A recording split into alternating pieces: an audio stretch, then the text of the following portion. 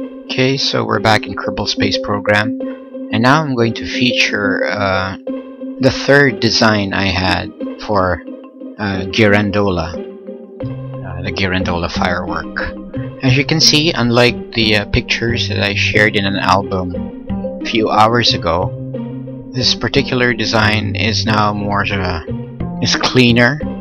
I really exerted effort in making it look like a wheel so I really shaped the outer ring into a wheel. And on the edge of that wheel you can see solid rocket uh, boosters or thrusters. And here what I'm showing to you now are the uh, liquid rocket motors. This one in the center in the central stack.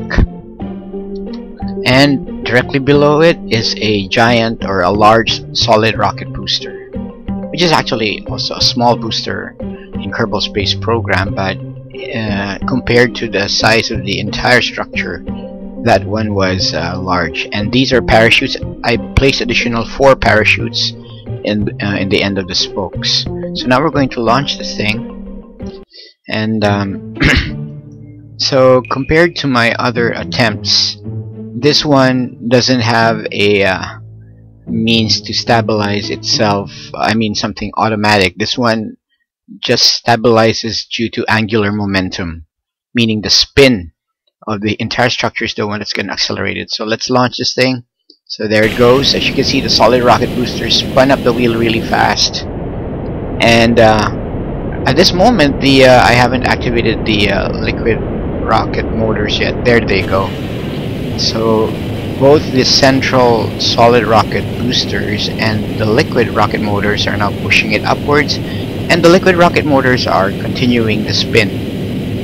Look at that column of flame. That's all of that is coming from the central solid rocket booster which just uh, got depleted right now. So now what's pushing it upwards? Well not not much because as we can see the ascent rate is actually uh, going down now. But there's still some fuel left and it's actually uh, pushing or spinning the entire structure still. So it's gonna run out in a few seconds from now the uh, the remaining fuel which is actually piped into the uh, the tanks at the end of the spokes there.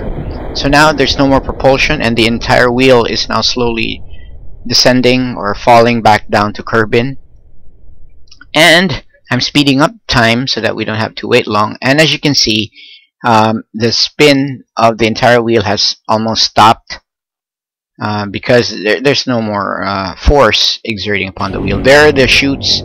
So the chutes have been uh, deployed for a gentle landing. Again, I'm going to predict that even though I tried to uh, make sure that this is going to be a gentle landing, let's speed it up a bit.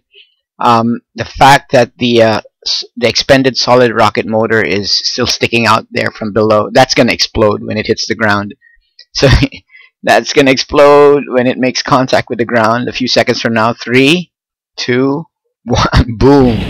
But as you can see the uh, entire structure is still intact. And look at that. The uh, physics of uh, Kerbal Space Program is uh, brilliantly uh, displayed there by the wobbling motion of the uh, wheel now we're zooming out of KSC, the Kerbal Space Center, and zooming out and letting you see the uh, planet Kerbin.